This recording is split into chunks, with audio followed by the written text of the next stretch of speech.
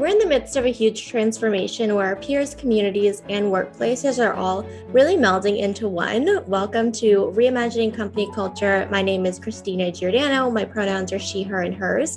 Um, and I'm a partnerships manager here at All Voices. And today we have our next guest, Michele, also Giordano. Um, she is the Vice President of Digital Services at the Digital Crisis at the Trevor Project. Hi, Michele. How's it going?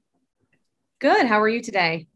I'm good. I'm good. If you wanted to tell us a little bit about yourself for the folks who are uh, listening, including your pronouns and what has recently brought you joy, anything in the world. Sure. Um, well, thanks so much for having me. I'm Michele Giordano, the VP of Digital Crisis Services at the Trevor Project. My pronouns are she, her. Uh, recently, what's brought me joy is walking my son, who is seven, to school again. Um, for so many folks, you know, this pandemic has brought so much change to the way we lived and um, had our sort of daily routines. And so being able to simply walk my son to school again has really brought me joy um, and to see how excited he is to be back in the classroom. That's awesome. That's funny. Someone else said that the other day, and it's just like it's a really nice like way to like start the day and just also spend time together. So I love I love that answer.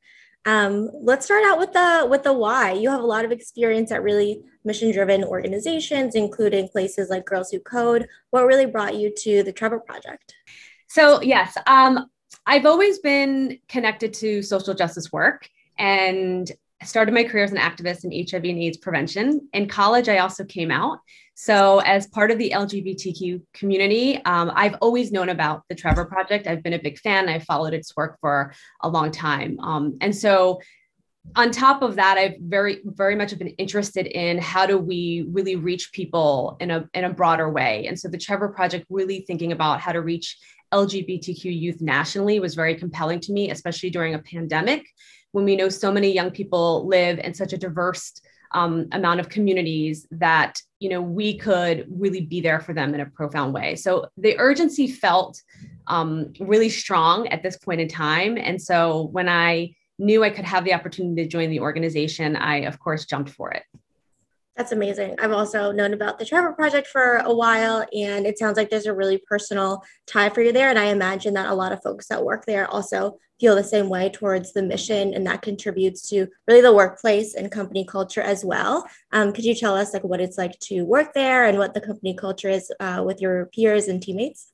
Yeah, sure. So company culture is so important, and I think um, you know, with the last year, having to really be intentional about it has really been brought to the forefront because, you know, the traditional ways of thinking about culture um, in, in an in-office experience um, is quickly gone when you had to sort of transition your staff. So, you know, for Trevor, I would say we're really, really centered on empathy and innovation and community. And those are the pillars that really drive a lot of our decisions and the way we think about the work we have a team that is across the country that mm-hmm. come from all diverse communities and um, have so many different talents and really being able to encourage people to you know show up as who they are contribute to the organization in a way that resonates with their own values and why they've been brought to trevor um, and also within that really thinking through how do we continue to push ourselves to be innovative and think about the way we can leverage tech to reach more young LGBTQ people and, and really sort of create that um, innovation culture within the organization at the same time. Yeah, absolutely. I feel like a lot of organizations are having to think about adaptability over this past year, and especially for this, just the services and community that Trevor offers as well. I know I was talking with your with your team, and one of the kind of main elements is the digital crisis services that's 24 7. So phone, text, chat, and a lot of work depends on volunteers and counselors and in a regular year it is it is a lot of emotional work as well and then we also have just mental health during the pandemic how do you really think about supporting kind of the mental health of your uh, your folks there Yeah, I mean, I I would say we probably think about it more than most organizations because yeah. it's our it's our you know focus and why we exist, and we do this in a few ways. I mean, I think first and foremost, one of the ways we do it is that we we are ta- we're talking about it all the time. It's mm-hmm. we're very transparent about it. We really encourage our colleagues and our staff to talk about whatever is happening in their own lives, specifically to mental health. Of course, with, within that, respecting people's boundaries and the way they want to show up with that in the workplace. So we're, you know, we're constantly balancing that, right? Creating that culture of like can, talking about your whatever is happening for you along your mental health experience, um, but also making sure we have the right resources and support for that. So, in terms of our programming, we do a lot around case conferencing and process groups and really talking about the, the, the work itself and how that's impacting people day to day. When you're serving LGBTQ youth in crisis, that can often be really heavy for people, um, especially if they're already grappling with issues or or challenges in their own life. So we always want to create space for that to process the work. We also have supervisors on our lines 24 7 who are there supporting our counselors and crisis workers through conversations. So that's a, an extra layer for us of making sure that if there's a difficult conversation with a young person and someone needs to debrief on it, um, that we have the right support in place. And then we have organizational policies um, in place like EAP programs and extended leave of absences and, and, ways that we really can encourage people to, when they need to step away from the work, to have that opportunity, when they need extra resources to know that, you know, we will provide it for them. And then for that to be a real sort of center point for them to know how they can sustain themselves in the role and make sure they're taking care of their wellness. Yeah, absolutely. It sounds like there are a ton of resources and just intentionality behind it as well, like you said, because of the nature of the work. Um, and you mentioned kind of organizational processes as well. Are there any other kind of shifts that the team has made uh, throughout the pandemic um, for you know for the better there? Yeah. So, you know, bef- before my time, the organization had to make a really quick pivot to become 100% remote. That mm-hmm. was really critical to do for our lifeline services where we knew we had to take our phone lines and figure out how to make them remote um, without interrupting our 24 7 service. So I'm really, it's in, incredibly inspiring to hear how the de- team did that. It was across, you know, um, functional effort as it always is in organizations and companies. And, you know, I think the opportunity that it's allowed us is to really be able to leverage um, you know talent across the country and also think about our operations without it being anchored in in you know certain regions and locations in the country. And so in a lot of ways i think there's been some great benefits um, from it. You know we've been able to realize that we can do this work anywhere at any time um, and continue to serve lgbtq youth in crisis um, in, in the way we have always done yeah, absolutely. I think I've been hearing that too from just these conversations of the opportunity for accessibility to these roles, but also just the services overall, um, which is really great. And you mentioned supervisors um, and you lead the digital crisis like services team. Mm-hmm. Um, I would love to ask, you know, have you seen the role of managers, especially who are, you know, motivating and talking with people um, throughout this time. And you know you might not have met your manager in person. Have you seen their kind of roles change um, over this past year? And if so like how? Yeah this is a really good question. And i think as a leader you've had to change or you couldn't mm-hmm. be successful for your team. So i've never met my team in person. I've never met my direct boss in, in person. And i think um, you know with the way we've been able to transition remotely the it's uh, really amazing to me that we've been able to connect and really be successful together in the way we think about the work. But as a leader, you've had to create more space for understanding people's personal lives, right? Like we've always talked about work life balance and boundaries in the workplace and how to think about that in relation to managing a team. But when I came into the role, what was really important for me was to really sort of name all of the things that were happening in the world and really creating a space for people to talk about that in their lives. We know we know folks that you know um, were impacted by covid either themselves or by family members or were you know making big decisions on how they um, needed to relocate to be closer to family for the unique needs that were coming up during the pandemic also just the social and emotional and mental stress on yourself and your community during a pandemic has impacted people so differently and you it's really important as a leader to know where your people are at with that journey and understand that each person is responding differently and to take in those needs so you know I feel like I know more about my team than I probably would have because of the pandemic, because we've had yeah. to ask really tough questions and be really honest about, you know, what is happening in our lives and how we're feeling, um, and naming that, and you know, and making sure that people have space to talk about it because it does impact the work and the way you feel like you can show up day to day and you want people to have space for that especially if you know they're they're really feeling the direct impact of a pandemic um, you know you really need to be able to name that and make it part of the way you're thinking about your team yeah, absolutely. Naming it and meeting employees and just like team members where they are. I know like some folks have cried on Zoom for the first time and they're just like, I don't want to share on like this 100 person Zoom meeting, but I want to talk to you directly one on one. So I think that's like super important as well. I want to kind of shift to all of the amazing research that is done at Trevor as well. Um, I know that you know you've run the largest national survey on LGBTQ youth, um, specifically in regards to mental health in 2020, and there was a lot that came out of that. But I want to kind of know for folks who are listening, um, you know, what are some key insights folks should be aware of, especially um, as we're thinking about, you know, the new world of work and really building an inclusive and equitable space where folks can succeed. Yeah, um, thank you so much. It's always um, so wonderful to talk about what we're seeing in the research. Um, and I'm so proud of Trevor and my colleagues that do this work because I think it is really important to recognize what is happening for the LGBTQ youth. So, this is what we know, which is that 42% of LGBTQ youth seriously consider attempting suicide and have in the past year.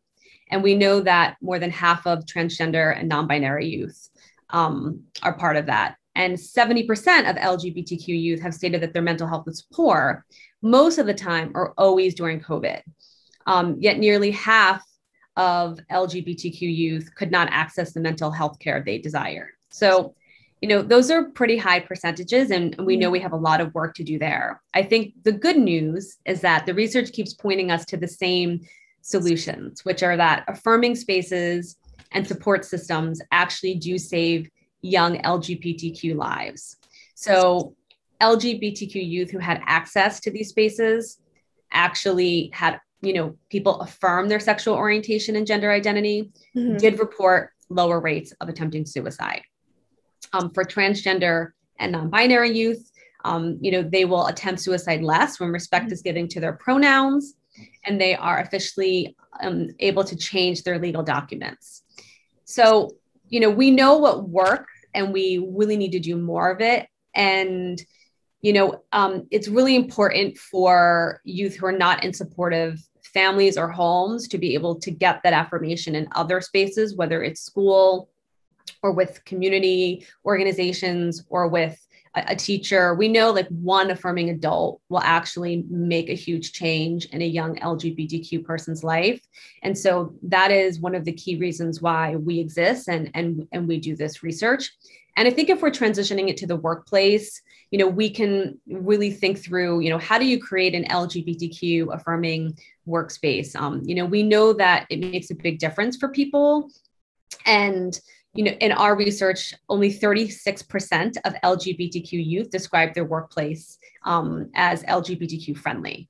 Um, and so, you know, there are a lot of ways for us to improve on that. You know, how do we think about having LGBTQ friendly protocols and, and policies that you're putting at the forefront of your organization um, you know, really sort of centering centering around Trans Day of Visibility, Trans Day of Remembrance, um, you know, and and Pride Month. You know, how are you going to think about elevating the LGBTQ youth community or your um, staff? You know, where this actually can make a difference for them and then you know really thinking about lgbtq based discrimination in the workplace you know what are the pathways for people to really be able to talk about that um, and and to be able to feel like they're going to be safe if they report on that. So i think there are many ways to tackle the problem and to think about you know the research we're doing and then how to implement that that can really really change you know the, the course of an experience for someone who is an lgbtq young person Absolutely. I appreciate what you kind of shared around the affirming spaces and the affirmation of one person and just support system as well is so important. And I know a lot of organizations are, you mentioned just pronouns and adding pronouns to just email signatures and um, just making, you know, what looks like small adjustments. But the data that you shared of just transgender and non-binary youth, like having their pronouns respected just lowers suicide rates or attempted to, it's just I, I think that's really important. And a lot of folks maybe don't know that as well. Um, mm-hmm. Um, and just thinking about building trans inclusive spaces in an organization is super important. So, celebrating Trans Day of Visibility and just really making sure that it's part of the culture is so important. Um, is there a, this is more of a personal question for you, but is there any surprising kind of factor, point of information about you that folks would be like, oh, I didn't know that about Michele? Uh, I this is a tough question, but I did, um, you know, I did want to talk about what was surprising about me that brought me to this work, which is that my dad died of AIDS when I was 18. Mm-hmm. And so I, you know, feel very connected to the social movements, specifically with the HIV and AIDS activists who came before me um, and put in a lot of the groundwork for the LGBTQ community as well. Um, but really personally, like when I went through that experience, it really was the catalyst for me wanting to be part of social justice work, social change, and really thinking about how stigma and shame and discrimination really can take a toll and create unique risk factors in people's lives. And so for me, that, you know, that experience grounds me day to day and the work I'm doing. Yeah, that's amazing. And it's so deeply personal as well. And I feel like that's a lot of, motivation of what we've talked about too. Um, and I'm sure that you have kind of many of them, but over the past few months, whether it's a big milestone or small, do you have a proudest moment working at Trevor? Uh, yeah, I mean, I would say um, one of my proudest moments is when you know we've been able to really continue 24 7 during a pandemic despite like all of the ups and downs of people's lives and transitions and moves. Um, you know that has been really incredible. I would say like also during, you know, the election, um, you know, we knew a lot of youth were coming to us around anxieties and fears about how, you know, the election would impact them. Yeah. And we were able to put out a um, guide to our staff and sort of how to talk through some of the questions they were getting from young people who were feeling so anxious and stressful. And so, you know, I'm proud of how we responded as a team to the pandemic, but I'm also really proud of how we've been able to respond to youth right? Like yeah. we are always operating in real time. Right. We're, you know, taking the context of the world and what's happening socially, culturally, politically, and bringing that into our work to really meet young people where they're at. And I, you know, we're, re- I think we're really unique in the way we do that. Absolutely. And I think it's so important to take what's going on in the world and, you know, think about how your impact makes a difference, especially in the lives of young people as well who do have a lot of questions and are seeking answers and support, again, affirming spaces. So I think that's really important um, as well. Um, I know that we talked about a couple kind of different topics in terms of your journey to Trevor and just the work that is is happening in real time now. But is there anything else that you would like to share with folks who are listening um, or just reemphasize kind of a point that you hope that they take away from our conversation today? Yeah i would say be an ally you know um, you know look at the different workplaces you're in in your communities and really be an advocate to trans youth and lgbtq youth and push for people to introduce themselves with their pronouns and to be really vocal about supporting trans youth. I think we need to say it more and we need to do it more. And so wherever you can be that person championing um, you can see a you know you'll see a difference. Um, i also would say you know, uh, refer um, to Trevor. You know, if you know that there's a youth in need, like please don't be shy about asking um, a family member or a teacher to use our resources. We have our Trevor Lifeline. We also have our Trevor te- um, text and chat. And so, you know, I really would encourage people to, you know, let young people know we are there for them you know make sure that if you have a young lgbtq person in your life you let them know they can reach us 24 7 um, because we want to be there for them um, you know in in their moment of crisis and making sure that they know that they can talk to a supportive counselor Absolutely. I think that's so important. And oftentimes folks are thinking they don't have the answers and they don't know where to go. But there are folks like at the Trevor Project who have a bunch of different resources that you can just go to and also just direct uh, young people to as well. So I think that is a great uh, call to action for everyone who is listening. Michele, thank you so much for speaking with us this morning. I it was so it was so nice to meet you and uh, just talk about all of the amazing work you're doing and your personal connection to it. Same. Thank you so much for having me. Yeah, absolutely. And as a reminder for the folks who are listening, All Voices really believes in the empowerment of everyone speaking out in an organization um, and think it's a requirement for everyone to succeed. Speak soon.